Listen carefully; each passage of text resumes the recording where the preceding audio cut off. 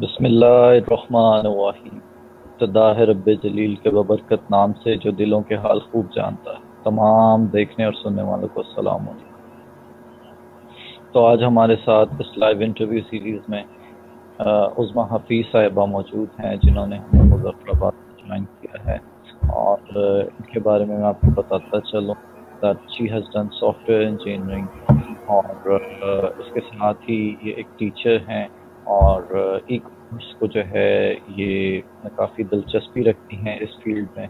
और इसके साथ ही मैं आपको ये बताता चलूँ that this interview series is supported by Rehan Foundation Institute of Peace and as a part of connected Pakistani और सबसे पहले तो मैं मैम का बहुत ज़्यादा शुक्रिया अदा करूँगा कि इन्होंने अपनी मसरूफ़ ज़िंदगी में से हमारे लिए वक्त निकाला और आज हमें ज्वाइन किया। असलकुम मैम, कैसी हैं आप?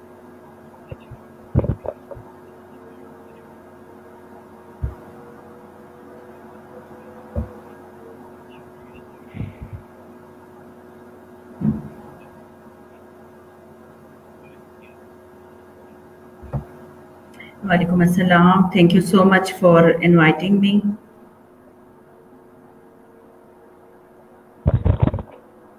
जी मैम, मैं आपसे सबसे पहले तो ये रिक्वेस्ट करूँगा कि मैं एक आपका बहुत ही मुख्तसर सा तारुफ दे चुका लेकिन तारुफ जो है वो मैं समझता हूँ कि आप ही बेहतर तरीके से अपने बारे में हमारे व्यूअर्स को भी और हमें भी बता सकती हैं तो सबसे पहली मेरी आपसे रिक्वेस्ट है कि इन डिटेल जो है अपने बारे में बताइए और अपना इंट्रोडक्शन कीजिए। थैंक यू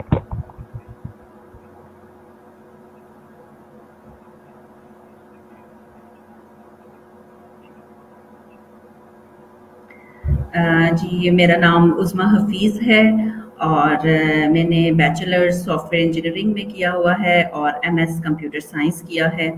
मेरी सारी एजुकेशन जो है वो रावलपिंडी से है और almost seven to eight years हो गए हैं मुझे मुजफ्फराबाद आज़ाद कश्मीर में रहते हुए और uh, इतना ही टाइम मुझे हो गया है एजुकेशन सेक्टर uh, से मुंसलिक हुए हुए और uh, जो इंजीनियरिंग करने के बाद जो है कुछ मैं अपनी प्रोफेशनल लाइफ को कंटिन्यू नहीं कर सकी थी उस तरह तो मैंने जो है वो स्कूलिंग ज्वाइन की।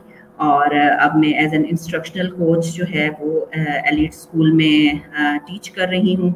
और इसके अलावा मैंने as a lecturer different universities में as in software engineering departments में पढ़ाया है। और अब जो है मेरा इंटरेस्ट ज़्यादा ई कॉमर्स की तरफ़ है कि अब मुझे अपनी प्रोफेशनल लाइफ में वापस आ जाना चाहिए। काफ़ी गैप आ चुका है। और मेरा जो पर्सनल इंटरेस्ट है वो ई कॉमर्स वीडियो एडिटिंग और बुक रिव्यूज़ पे है। और जो है अब मैं अपना आगे कोशिश कर रही हूँ कि मैं ई कॉमर्स को अपना जो है वो कैरियर अपनाऊँ। जी ma'am this is very impressive और मैम मैं सबसे पहले आपसे ये जानना चाहूँगा कि इंजीनियरिंग की तरफ़ आ, कैसे आना हुआ और इस तरफ़ जो आपका रुझान था वो कैसे हुआ? क्योंकि सॉफ्टवेयर इंजीनियरिंग मैं समझता हूँ एक टफ फ़ील्ड है तो सबसे पहले तो आप इसके बारे में बताइए, फिर हम अपने टॉपिक की तरफ़ भी जाएँगे। जी। जी कंप्यूटर में मेरा बचपन से ही बहुत ज़्यादा इंटरेस्ट था। जैसे कि नॉर्मल लड़कियों को कपड़े, जूते और मेकअप्स का शौक होता है तो मेरा ज़्यादा गैजेट्स लेने का शौक होता था। कि जब भी मैंने कोई चीज़ परचेज करनी है, अपने मनी से सेव्ड मनी से या किसी से कहना है कि लेके दें तो मैं हमेशा गैजेट्स को प्रेफर करती थी। तो वहीं से मेरा इंटरेस्ट जो है वो आईटी की तरफ़ ज़्यादा था। और मोबाइल यूजेज बहुत ज़्यादा था मोबाइल बहुत ज़्यादा यूज़ करती थी। तो मैंने फिर आगे इसी आईटी को जो है वो इसी में अपनी स्टडीज़ को कंटिन्यू किया। और फिर इसमें मैंने इंजीनियरिंग की, लेकिन उस टाइम पे क्योंकि जब मैंने इंजीनियरिंग की थी तो जो है वो फीमेल्स बहुत कम होती थी इस फ़ील्ड में। तो मैं अपनी क्लास में एक वाहिद स्टूडेंट थी। फीमेल तो काफ़ी टफ होता था, मुझे मतलब काफ़ी डिफ़िकल्टी फेस होती थी क्योंकि कोई और लड़की नहीं होती थी। लेकिन मेरा शौक बहुत ज़्यादा था आईटी में तो मैंने इस फ़ील्ड को कंटिन्यू किया। और फिर इसी में मैंने आगे एमएस जो है वो किया कंप्यूटर साइंस में, जिसमें फिर मेरी स्पेशलाइजेशन जो है वो सॉफ्टवेयर इंजीनियरिंग ही थी।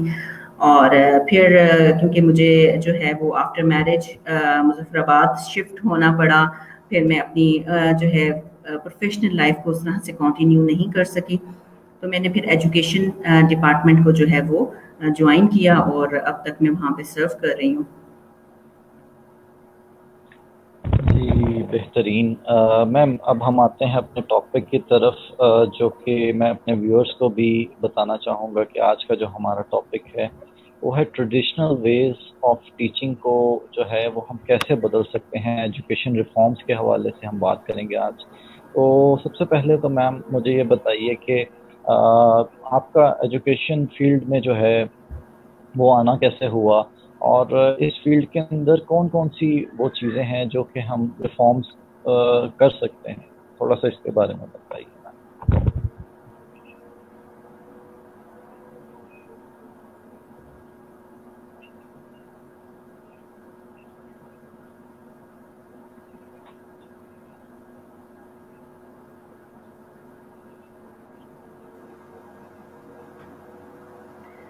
जी टीचिंग में मेरा आना ऐसे हुआ कि जब मैं एमएस कर रही थी तो वहीं पे मैंने अपनी ही यूनिवर्सिटी में जो है एज अ टीचिंग फेलो अपने डीन को ज्वाइन किया और वहीं से मैंने अपने टीचिंग का कैरियर जो है वो स्टार्ट किया और फिर जब टू इयर्स थ्री इयर्स मैंने यूनिवर्सिटी में एज अ लेक्चरर टीचिंग की और फिर क्योंकि जब मुझे यहाँ पे शिफ्ट होना पड़ा तो क्योंकि ये एक हिली स्टेशन है, यहाँ पे उस तरह की अपॉर्चुनिटीज़ अवेलेबल नहीं थी। यूनिवर्सिटी लेवल पे। तो मुझे जो है वो बेस्ट ऑप्शन जो है वो एलिट स्कूल्स की ही लगी और फिर मैंने वहाँ पे अपने टीचिंग को स्टार्ट किया और फिर आहिस्ता आहिस्ता टीचिंग में क्योंकि मेरा इंटरेस्ट डेवलप होना स्टार्ट हुआ तो मैंने जो है वो एज अ ट्रेनर अपने आप को अपनी स्किल्स को पॉलिश किया। तो फिर करंटली जो है मैं अब as as an instructional coach teacher trainer के तौर पे काम कर रही हूँ। ट्रेडिशनल जो वेज हैं टीचिंग के उस पर मैं ये बात करना चाहूँगी कि सबसे पहले तो ये समझना ज़रूरी है कि ट्रेडिशनल वेज क्या हैं और लेटेस्ट वेज क्या हैं। इन दोनों में डिफरेंस क्या है? तो सबसे पहले तो जैसे ट्रेडिशनल वेज में आ, हम अक्सर कहते हैं कि गवर्नमेंट स्कूल्स में और प्राइवेट स्कूल्स की एजुकेशन में बहुत डिफरेंस है। तो आ, सिर्फ़ ये गवर्नमेंट स्कूल्स में ही नहीं बल्कि हमारे बहुत सारे ऐसे प्राइवेट इदारे भी हैं जहाँ पे स्टिल अभी तक traditional ways conventional ways of teaching use हो रहे हैं पाकिस्तान में। सो ट्रेडिशनल वेज हम किसको कहते हैं? लाइक like, uh, जैसे हम सबने हमारी एज के जितने भी हैं हम सबने एक ट्रेडिशनल वेज ऑफ़ टीचिंग वाले स्कूल्स में पढ़ा हुआ है यूनिवर्सिटीज़ uh, में पढ़ा हुआ है जहाँ पे टीचर्स जो हैं वो जब क्लास में आते हैं तो वो हमें एक एक लेक्चर देते हैं डिमॉन्स्ट्रेशन देते हैं। बोर्ड पे आके वो जो है वो पूरा बोर्ड भर देते हैं लिख के और जब क्लास ख़त्म हो जाती है तो वो चले जाते हैं। सो so, ये कन्वेंशनल मेथड्स हैं टीचिंग के जो कि अभी भी स्टिल हमारे स्कूल्स में से ख़त्म नहीं हो सके। स्टिल अभी भी यूज़ हो रहे हैं। और इसमें अब ज़रूरत इस बात की है कि अब इन वेज को जो है हम छोड़ के लेटेस्ट वेज को अपनाएँ। टीचिंग जो है, अब खाली सिर्फ़ एक टीचर का लेक्चर देना नहीं है, एक डिमॉन्स्ट्रेशन देना नहीं है, बल्कि एक टीचर का जो है, वो एज अ फैसिलिटेटर काम करना है। टीचर का काम अब जो है, वो सिर्फ़ फैसिलिटेट करना गाइड करना और आइडियाज़ को थ्रो करना है।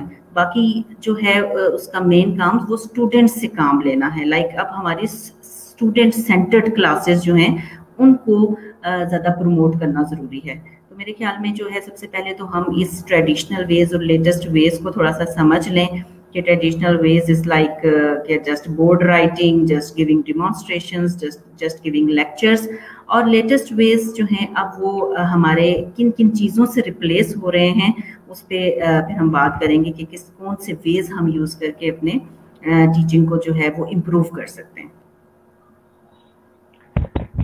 जी मैम आपने बहुत ही अच्छे तरीके से जो है इसके बारे में बताया।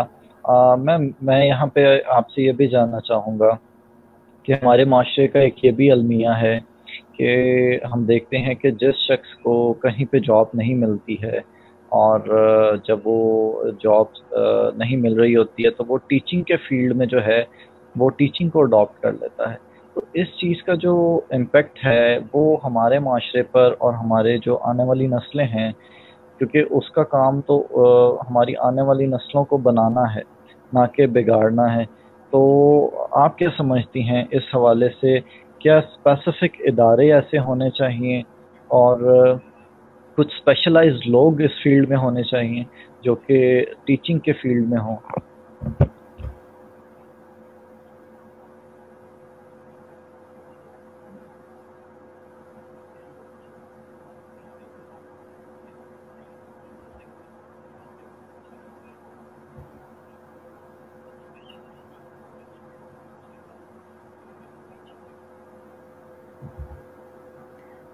जी बिल्कुल, आपकी ये बात बिल्कुल ठीक है कि जब हमारे यहाँ किसी को कोई जॉब नहीं मिलती तो वो टीचिंग को अडॉप्ट करने की कोशिश करता है कि जब उसके पास कोई और ऑप्शन नहीं रह जाती। उसमें सबसे बड़ी मेन वजह ये है कि हमारे जितने भी जैसे टेक्निकल डिग्रीज़ हैं, वहाँ पे हमारा टोटली थ्योरेटिकल काम होता है और यूनिवर्सिटीज़ में से निकलने के बाद भी हम बेसिक लेवल्स पे ही रहते हैं। हमें उस तरह से टेक्निकली हमारी स्किल्स को जो है वो इन्हेंस नहीं किया जाता। और जो हमारे टीचर्स भी हैं, वो भी, उनका भी है कि उनके थोड़ा सा उनको अपने आप को अपग्रेड करने की ज़रूरत है। हमारी यूनिवर्सिटीज़ को इंडस्ट्रीज़ के साथ इंटीग्रेट करने की ज़रूरत है, ताकि हमारे स्टूडेंट्स जब वहाँ से निकलें तो वो अपने आप को इतने लो लेवल का ना समझें कि वो अपने जो है वो बिल्कुल लो लेवल की जॉब्स को तलाश करने की कोशिश करें। क्योंकि जब उनके पास प्रॉपर स्किल्स नहीं होती, उनको इतना कॉन्फिडेंस नहीं होता तो तब वो टीचिंग को अपनाते हैं। और जब टीचिंग में उनको बाय फोर्स वो टीचिंग करनी पड़ती है, क्योंकि वो शौक से नहीं कर रहे होते तो फिर हमारी जो है वो क्वालिटी ऑफ़ एजुकेशन पे फ़र्क पड़ता है। हमारे स्टूडेंट्स की क्वालिटी हमारे स्टूडेंट्स वैसे नहीं निकलते आगे जैसे कि निकलने चाहिए। तो मेन वजह जो ये है कि हमारी यूनिवर्सिटीज़ में से वैसे अपग्रेडेड वैसे स्किलफुल लोग नहीं निकल रहे।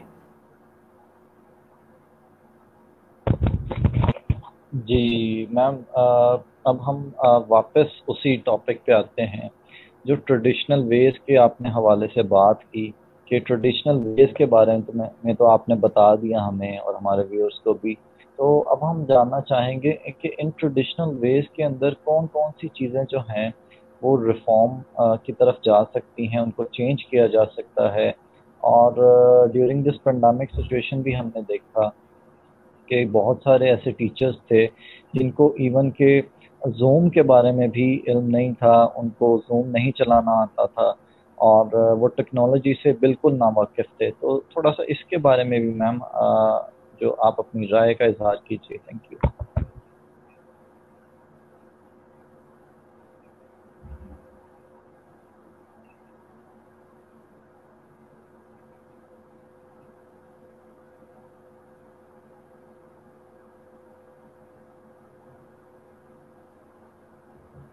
जी, इस पेंडेमिक ने हमें काफ़ी आईटी लिटरेट कर दिया है।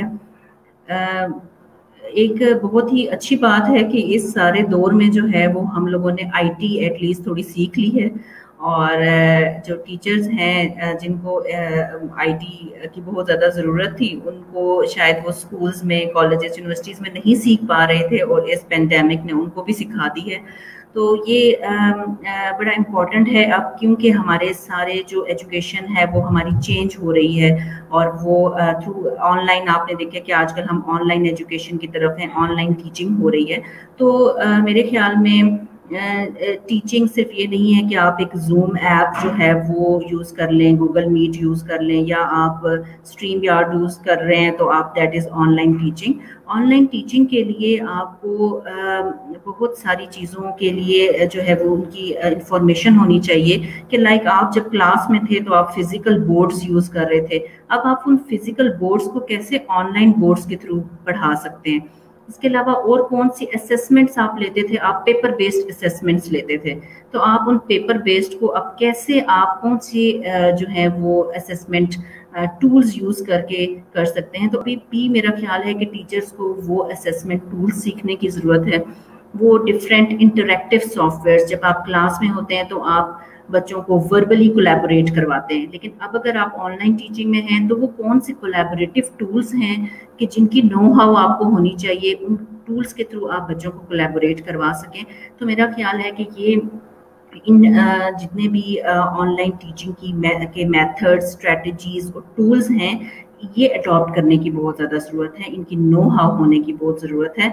इसके लिए, बल्कि मैंने इसीलिए यूट्यूब चैनल का इनिशिएटिव भी लिया और मैं अपना यूट्यूब यूट्यूब चैनल मैंने इसीलिए स्टार्ट किया कि मैं वहाँ पर बता सकूँ कि कौन कौन से वेज हैं, चाहे वो बहुत बेसिक कॉन्सेप्ट्स हैं और बहुत छोटे बच्चों से स्टार्ट हो रहे हैं, लेकिन आप किसी भी, चाहे वो यूनिवर्सिटी लेवल पे हैं, चाहे स्कूल में हैं, चाहे कॉलेज में हैं, लेकिन आप किसी भी कॉन्सेप्ट को अब आप जो है थ्रू टूल्स के थ्रू आप कैसे पढ़ा सकते हैं। तो मेरा चैनल स्टार्ट करने का मकसद भी यही था कि उन टूल्स को जो है लोगों को बताया जाए टीचर्स को बताया जाए स्टूडेंट्स को पेरेंट्स को बताया जाए कि अब आप अपने ट्रेडिशनल बेस को छोड़ें और इन टूल्स के थ्रू अपने कॉन्सेप्ट्स को जो है वो बच्चों तक इम्पार्ट करें। जी मैम यहाँ पे आ, मेरे आपसे ये भी पूछना चाहूँगा कि क्या हमारे जो एजुकेशन सिस्टम है, उसके अंदर भी कुछ अपग्रेड होने की बहुत सारी मेरे ख्याल में अभी जो चीज़ें हैं वो अपग्रेड होने वाली हैं और सारा सिस्टम चल रहा है। तो इसको जो है कैसे अपग्रेड कर सकते हैं और पे आप समझती हैं क्योंकि आप भी एक टीचिंग की फ़ील्ड से वाबस्ता है? इसके अंदर कौन सी ऐसी चीज़ें जो है बताई जा सकती हैं जो है माशरे में रहते हुए स्टूडेंट्स हैं, उनके अंदर भी प्रोडक्टिविटी ला सके और जो स्टूडेंट्स कॉलेज यूनिवर्सिटियों से निकले, वो बेहतर इंसान बन सके। और क्योंकि आज अगर देखा जाए तो यूनिवर्सिटी की डिग्रीज करने के बाद भी ये नहीं होता कि क्या करना है? और कौन सी फ़ील्ड को अडॉप्ट करना चाहते हैं तो थोड़ा सा इस बारे में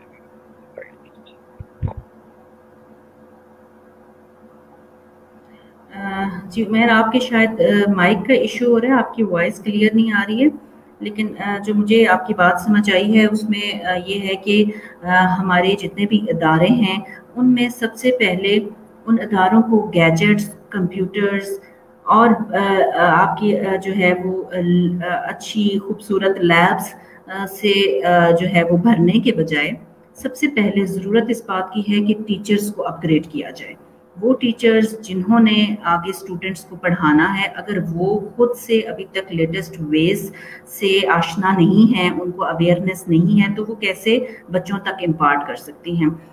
सिंपल भी अगर आपके पास कुछ डिवाइसेस हैं, लेकिन आपको वो वेज आते हैं कन्वे करने के लेटेस्ट वेज आते हैं तो मेरा ख्याल है कि वो ज़्यादा इम्पोर्टेंट है। अभी हमारे जितने भी टीचर्स हैं, वो कुछ स्कूल्स में उनकी उनकी तो ट्रेनिंग्स होती हैं, लेकिन बहुत सारे ऐसे ऑलमोस्ट सेवेंटी परसेंट इदारे ऐसे हैं जहाँ पे टीचर्स ट्रेनिंग का जो है वो रिवाज नहीं है।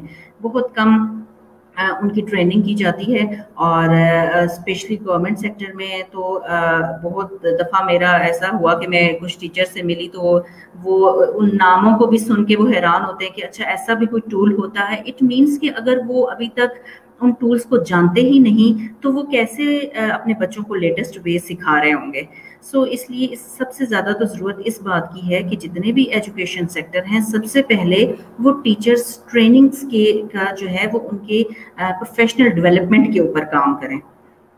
और मेरा ख्याल है कि अगर टीचर आपका क्वालिटी टीचर आप प्रोड्यूस कर देते हैं तो वो डेफिनेटली इन रिटर्न आपका क्वालिटी स्टूडेंट प्रोड्यूस करेगा। जी, मैम, बिल्कुल ठीक आपने कहा कि जो टीचर्स के ऊपर जो है, वो हमें काम करना होगा। और यहाँ पे मैम, मैं आपसे ये भी जानना चाहूँगा कि क्या टीचर्स के लिए कुछ मखसूस इंस्टीट्यूट्स ऐसे होने चाहिए पाकिस्तान के अंदर, जो कि टीचर्स को जो है वो अपग्रेड करें और उनकी ग्रूमिंग के ऊपर जो है वो काम करें, ताकि जो है टीचर्स बहुत ही ज़्यादा प्रोडक्टिव जो टीचिंग मेथड्स हैं, वो चेंज हो सकें और वो लेटेस्ट टेक्नोलॉजी लेके जा जी, बिल्कुल इसमें टीचर्स की प्रोफेशनल डेवलपमेंट जैसे कि मैंने कहा, बहुत ज़्यादा उसकी ज़रूरत है और उसके लिए फ़िज़िकल अदारे बनाने से ज़्यादा ज़रूरी मैं समझती हूँ कि अब अगर हमारे पास एक इंटरनेट की फैसिलिटी है तो क्यों ना वो इदारे हम जो है वो इंटरनेट के ऊपर प्रोवाइड करें। दो के बहुत सारे इदारे इस पे काम भी कर रहे हैं टीचर्स की ग्रूमिंग भी हो रही है। तो आप उन डिफरेंट जो है उसमें डिफरेंट कोर्सेज ऑफ़र किए जाते हैं डिफरेंट मैंटोर्स होते हैं जो आपकी ट्रेनिंग करते हैं। तो मेरा ख्याल है कि एक इंटरनेट जो है वो आजकल के दौर में इतना इतना अच्छा हमारे पास एक ज़रिया है जिसके थ्रू हम लर्निंग कर सकते हैं। तो मेरा ख्याल है कि अब फ़िज़िकल इदारों से ज़्यादा ज़रूरी है कि हम लोग सारे स्पेशली टीचर्स बहुत सारे ऐसे टीचर्स हैं इवन स्टूडेंट्स हैं और पेरेंट्स तो बहुत ही ज़्यादा तादाद में हैं कि जो अभी तक सोशल मीडिया पे नहीं आए, जो अभी तक सोशल मीडिया के टूल को जानते ही नहीं। एफ़ भी अगर आपको पता हो कि फेसबुक यूज़ करते हैं तो फेसबुक वो किस मकसद के लिए यूज़ करते हैं, वो हम सबको ही पता है कि अभी तक हमने प्रॉपर उसका यूज़ जो है वो हमें नहीं समझ आई। तो मेरा ख्याल है कि अगर हम सारे जो हैं वो इस इंटरनेट के ज़रिए अपने लर्निंग को जो है वो इन्हेंस करें और इससे ज़्यादा तो बेहतर मेरा ख्याल है कोई ऑप्शन नहीं है। यहाँ पे स्पेसिफिक आप जो है ऐसे वेबसाइट्स या ऐसे कोई भी प्लेटफॉर्म बना सकते हैं, ऐसी कम्युनिटीज़ बना सकते हैं और तो कि कुछ कम्युनिटीज़ टीचर कम्युनिटीज़ काम भी कर रही हैं, जहाँ पे इन जो है वो लेटेस्ट वेज को डिस्कस किया जाए, इस पे टीचर्स को ट्रेन किया जाए और जैसे कि अब हम, क्योंकि बहुत ज़्यादा ऑनलाइन टीचिंग की तरफ़ मूव कर चुके हैं हम लोग पेपर लेस एजुकेशन की तरफ़ जो है वो मूव कर रहे हैं। तो मेरा ख्याल है कि इन जो है प्लेटफॉर्म्स के थ्रू हम अपनी स्किल्स की, अपनी टीचर्स की स्किल्स को अपग्रेड कर सकते हैं। बात सिर्फ़ इस चीज़ की ये है कि हम इनको अवेयरनेस टीचर्स को ये अवेयरनेस दें कि they should come on the social platform they should come on the social media और उनको अपॉर्चुनिटीज़ बताएँ कि there are lot of opportunities available here to upgrade upgrade themselves ji, ma'am बहुत ही बेहतरीन तरीके से जो है आपने इस चीज़ को एक्सप्लेन किया और, मैम मैं यहाँ पे आपसे ये भी जानना चाहूँगा कि हमारे हमसाया ममालिक की अगर बात करें तो हम देखते हैं कि उनके जो स्टूडेंट्स हैं, जब वो यूनिवर्सिटी से निकलते हैं तो वो मुख्तलफ़ दुनिया के बड़े इदारों में अगर हम गूगल की बात करें तो गूगल के सीईओ को देखें यूएन में देखें कोक को देख लें पेप्सी को देख लें, जिस बड़ी ऑर्गेनाइजेशन का नाम लें तो वो वहाँ पे जो है वो नाम हैं। लेकिन हमारे मुल्क के जो बच्चे हैं, वो ऑर्गेनाइजेशन का हिस्सा क्यों नहीं बन पाते? क्या इसके पीछे जो है हमें टीचर्स का कसूर आता है एजुकेशन का है? ये क्या वजह है? इस सारे जो देखते हैं हमारे जो बच्चे हैं वहाँ तक नहीं जो कि बड़ी ऑर्गेनाइजेशन का हिस्सा नहीं उमेद आपके माइक का थोड़ा इशू हो रहा है मुझे आपकी आधी बात समझ आई है और आधी नहीं आई है काइंडली प्लीज़ इसको रिपीट करते हैं अपने क्वेश्चन को ओके okay.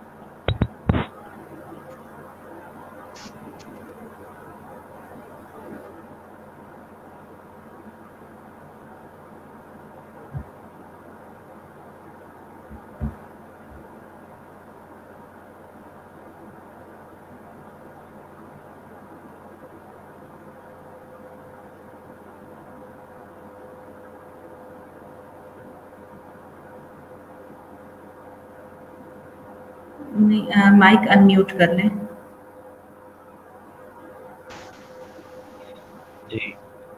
मैम मेरा एक क्वेश्चन आपसे ये था कि अगर हम अपने हमसाया ममालिक की बात करें जैसे कि आ, इंडिया की बात करें तो वहाँ के जो एजुकेशन सिस्टम है तो अगर हम वहाँ के बात करें तो वो बच्चे जब ग्रेजुएट होते हैं यूनिवर्सिटी से निकलते हैं तो वो बड़ी ऑर्गेनाइजेशंस का जो है वो हिस्सा बनते हैं। जैसे कि हम गूगल की बात करें तो उसके सीईओ को देखें आ, आप माइक्रोसॉफ्ट में चले जाएँ अमेजोन में चले जाएँ या यूएन का हिस्सा वो बनते हैं मुख्तलिफ़ अच्छी पोस्ट के अंदर जो है वो उन ऑर्गेनाइजेशंस का हिस्सा बनते हैं जहाँ पे आ, जो मैं समझता हूँ कि जो लीडिंग ऑर्गेनाइजेशन हैं पूरी दुनिया को लीड करती हैं तो हमारे मुल्क के अंदर जो एजुकेशन सिस्टम है, क्या उसके अंदर कुछ प्रॉब्लम है या टीचिंग के अंदर कुछ प्रॉब्लम नज़र आती है? तो इस बारे में भी आप अब थोड़ा सा गाइड कीजिए जी, मैं ये समझती हूँ कि सबसे पहले तो क्योंकि हमारे यहाँ जो डिफरेंट कैटेगरीज बन चुकी हैं लाइक एलिट क्लास है मिडिल क्लास है लोअर क्लास है तो उसकी वजह से सबसे ज़्यादा हमारे जो है स्टूडेंट्स अफेक्ट हो रहे हैं। एक बहुत ही कम जो है वो परसेंटेज ऐसी है जो अलीट स्कूल्स में पढ़ रही है। वो बच्चे हैं जो हर तरह का एक्सपोजर ले रहे हैं, वही बच्चे हैं जो हर तरह की स्किल्स सीख रहे हैं, वही टीचर्स हैं जो अपग्रेड हो रही हैं। वहाँ के उन, उनके, क्योंकि प्रॉपर जो है वो टीचर्स ट्रेनिंग प्लेटफॉर्म्स हैं और इसलिए उनके टीचर्स ट्रेन हैं और उनके बच्चे जो हैं वो अच्छे निकल रहे हैं। जबकि हम बाकी स्कूल्स में जो है अगर देखें गवर्नमेंट के अलावा भी अगर आपके जो नॉर्मल प्राइवेट स्कूल्स हैं वहाँ पे भी अगर आप देखें तो एजुकेशन का उस तरह का लेवल नहीं है।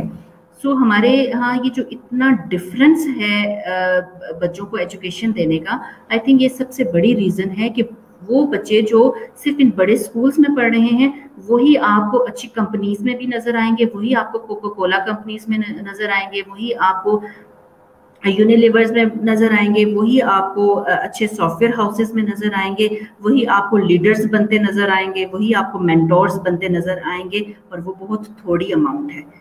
तो मेरे ख्याल में सबसे पहले तो इस जो कि अभी इस चीज़ पे नेशनल जो है सिंगल नेशनल करिकुलम के ऊपर काम भी हो रहा है और इसको प्रमोट किया जा रहा है, जिसको मैं समझती हूँ कि एक बहुत ही अच्छी चीज़ है। कि सिंगल नेशनल करिकुलम को थ्रू आउट ऑल अप्लाई किया जाए, ताकि, क्योंकि मैं ये समझती हूँ कि जैसा पाकिस्तान जो है अलीट स्कूल के बच्चों का है, वैसा ही पाकिस्तान एक नॉर्मल स्कूल के बच्चों का भी है और वैसा ही पाकिस्तान जो है, वो एक गवर्नमेंट स्कूल के बच्चे का भी है। तो फिर उनमें इतना तजाद क्यों है उनकी एजुकेशन में? और इसलिए सबसे पहले तो इस जो इनिशिएटिव जो लिया गया है सिंगल नेशनल करिकुलम का, वो सबसे ज़्यादा उसको सराहने की ज़रूरत है। कि उसकी वजह से आई होप कि अब हमारा जो एजुकेशन है, वो हर तरह का जो बच्चा है, वो सेम एजुकेशन सेम अपॉर्चुनिटीज़ जो है वो हासिल कर सकेगा। और मेरी इसके लिए बहुत ज़्यादा जो है वो दुआ है कि अल्लाह करे कि हमारे पाकिस्तान में हर बच्चा जो है वो सेम एक्सपोजर हासिल कर सके। और ताकि उस, वो, क्योंकि जब कुछ बच्चे ऐसे हैं जब वो अपने आप को उनके साथ कंपेयर करते हैं कि ये बच्चे जो हैं क्योंकि वो एलिट स्कूल्स में पढ़ने की वजह से वो बड़े बिजनेसमैन बने वो बड़े लीडर्स बने वो बड़े मेंटोर्स बने तो एक तो सबसे पहले वो अपना सेल्फ कॉन्फिडेंस वहीं पे लूज कर देते हैं कि हमने तो वैसा एक्सपोजर लिया ही नहीं हमारी ग्रूमिंग वैसी नहीं हुई। तो फिर जब वो प्रोफेशनल लाइफ में आते हैं तो वो आ, इस सेल्फ कॉन्फिडेंस जो लूज कर चुके थे वो इसी से नहीं निकलते। वो इस एहसास कमतरी से निकल ही नहीं पाते कि हमारी, हम जो है वो किसी के सामने बात नहीं कर सकते। हमारी स्पोकन अच्छी नहीं है, हमारी पर्सनैलिटी अच्छी नहीं है। तो ये सारी रीजंस हैं मेरा ख्याल है कि जिनकी वजह से हमारे बच्चे जो हैं वो आपको बहुत कम बच्चे अच्छी पोस्ट्स के ऊपर नज़र आएँगे और स्पेशली ग्लोबल लेवल पे भी अगर आप देखें डिफरेंट प्लेटफॉर्म्स में तो बहुत ही कम ऐसी तादाद है जो हमारे पाकिस्तानियों की है, जो आप के, के इस ग्लोबल प्लेटफॉर्म पे बात कर सकते हैं बोल सकते हैं। तो मेरा यही जो है वो ख्याल है कि इस एजुकेशन को सेम किया जाए। सबके लिए आ, हर बच्चे के लिए चाहे वो फ़ी अफोर्ड कर सकता है फ़ी अफोर्ड नहीं कर सकता है। इन अगर उस उस बच्चे को में भी एक बच्चा है जो बहुत ही पुअर फैमिली से बिलोंग करता है, लेकिन अल्लाह ताला ने क्योंकि इंटेलिजेंस सबको एक जैसी दी हुई है, लेकिन अपॉर्चुनिटीज़ ना मिलने की वजह से वो बच्चा जो है वहीं पे दब के रह जाता है। तो मेरा ख्याल है कि अगर ये स्टेप हो जाए नेशनल सिंगल करिकुलम का तो ये हम सब के लिए एक बहुत ही अच्छी बात हो जाएगी। जी, मैम, यहाँ पे मैं आपसे इतफाक़ करूँगा कि इस तबकाती तकसीम को जो है वो ख़त्म होना चाहिए कि गरीब का जो बच्चा है, वो गवर्नमेंट स्कूल में तो पढ़ेगा और उसको वो वाली फैसिलिटीज़ और, वो वाला सिलेबस जो अप टू डेट सिलेबस है, वो नहीं पढ़ाया जाएगा। और जो अमीर का बच्चा है, वो अप टू डेट यूनिवर्सिटीज़ में भी पढ़ेगा और उसको जो है, वो दुनिया के तमाम अलूम जो अप टू डेटेड अलूम कहते हैं, वो पढ़ाए जाएँगे। तो मैं आपसे यहाँ पे एक क्वेश्चन जहाँ पे हम देखते हैं कि ग्रेजुएशन की डिग्री तब तक नहीं दी जाती जब तक कि आप जो है वो क्रिएट ना कर दें। तो क्या ये जो सिस्टम है, ये हमारी यूनिवर्सिटी स्पेशली कॉमर्स स्टूडेंट्स के लिए बिज़नेस ग्रेजुएट्स के लिए आप इस बारे में क्या मेरा आपकी आवाज़ बहुत ब्रेक हो रही है माइक का कुछ इशू हो रहा है। अगर आप सॉरी अगर आप अपनी बात दोबारा रिपीट कर दें। जी मैम मैं रिपीट कर देता हूँ। काइंडली आप देखिएगा अब ठीक है आवाज़? जी अभी ठीक आ रही है। मैम मेरा क्वेश्चन आपसे ये था कि क्या हम उन कंट्रीज़ को जो कि हम देखते हैं जहाँ पे ये सिस्टम फॉलो किया जाता है कि स्पेशली बिज़नेस ग्रेजुएट्स के लिए जो कि उनको तब तक ग्रेजुएशन की डिग्री नहीं दी जाती जब तक कि वो दस हज़ार डॉलर का जो बिज़नेस है, वो क्रिएट ना कर लें। तो क्या हमारे भी एजुकेशन सिस्टम में यही चीज़ है स्पेशली बिज़नेस ग्रेजुएट्स के लिए जो कि बिज़नेस की डिग्री करते हैं और उनको बिज़नेस की डिग्री करने के बाद भी जो है बिज़नेस के बारे में इल्म नहीं होता तो क्या ये सिस्टम जो है हमें भी इम्प्लीमेंट करना चाहिए अपने एजुकेशन सिस्टम में यूनिवर्सिटीज़ के अंदर?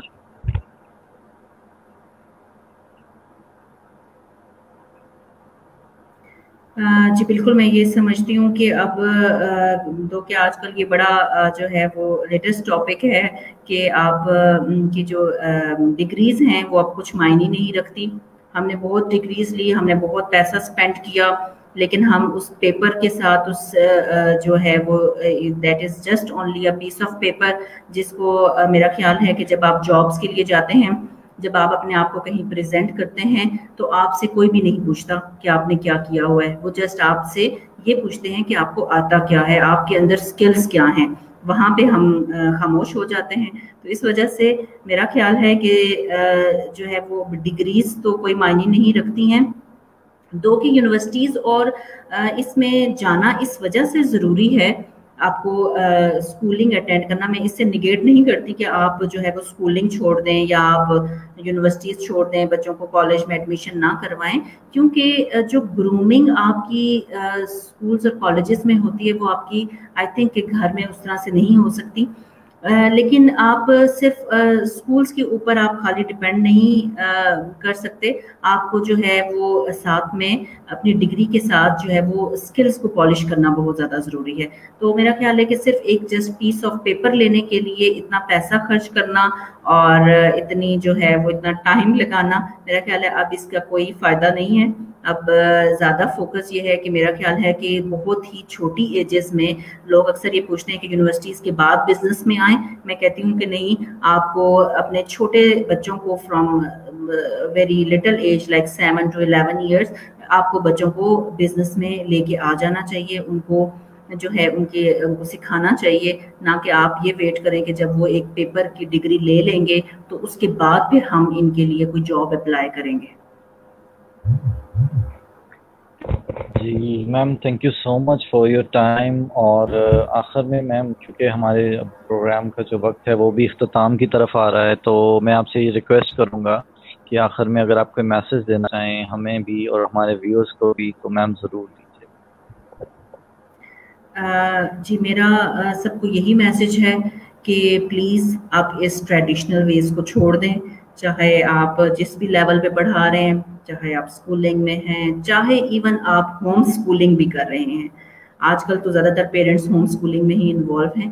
प्लीज़ होम स्कूलिंग में भी ट्रेडिशनल वेज को आप छोड़ दें और लेटेस्ट वेज को अपनाएँ लेटेस्ट वेज को सीखें। अब कहाँ से सीखें? यूट्यूब और गूगल जो है वो आपके पास एक बेस्ट ऑप्शन है। वहाँ पे आप जस्ट टाइप करें what are the latest ways of teaching you will you know get a lot of answers आप वहाँ पे सर्च करें, उन चीज़ों को लर्न करें, उन टूल्स को लर्न करें। लाइक like मैं अपने घर में जब अपनी बेटी को पढ़ाती हूँ तो मैं कोई भी कॉन्सेप्ट उसको पढ़ाना होता तो मैं उसके लिए चीज़ों को सर्च करती हूँ कि कैसे इस चीज़ को अब डिफरेंट वे में बढ़ाया जा सकता है। वो कौन से लेटेस्ट वेज अवेलेबल हैं जिसके थ्रू इसको पढ़ाया जाए। ना कि अभी तक हम सिर्फ़ उसी पे रहें कि जो है हमने कॉपीज भरवानी है, हमने उनको बच्चों को जो है वो सिर्फ़ लिखवाना है राइटिंग्स में रखना है, बल्कि अब हम उनके जो है देखें कि कौन से तरीकों के साथ हम कौन से नए वेज को यूज़ करते हुए अब बच्चों में कुछ चेंज ला सकते हैं। तो मेरा ख्याल है कि सिर्फ़ ये स्कूल्स में नहीं होम स्कूलिंग में भी इन चीज़ों को चेंज करें। ट्रेडिशनल वेज को छोड़ दें अब और बस अब मेरा ख्याल है कि काफ़ी टाइम गुजर चुका है। अब तो हम लोगों को रियलाइज़ कर लेना चाहिए कि इन चीज़ों का कोई फ़ायदा नहीं है। हमारी बहुत बड़ी एक नस्ल जो है वो जिसमें हम लोग भी आते हैं, हम लोग वेस्ट हुए हैं और अब जो आने वाले बच्चे हैं, उनको हमें वेस्ट नहीं करना चाहिए, जिसके लिए बहुत ज़रूरी है कि हम इन वेज को छोड़ें और न्यू वेज को अपनाने की कोशिश करें। Thank you so much ma'am कि आपने जो है आज हमें टाइम दिया और अपनी मतलब ज़िंदगी में से जो हमारे लिए वक्त निकाला और इसी खूबसूरत मैसेज के साथ जो है हम आज के प्रोग्राम का अख्ताम करेंगे। अल्लाह ताला हमें आसानियाँ दे, आसानियाँ खल के खुदा में तकसीम करने की तोफ़ी दे। अपना ख्याल रखिएगा। अल्लाह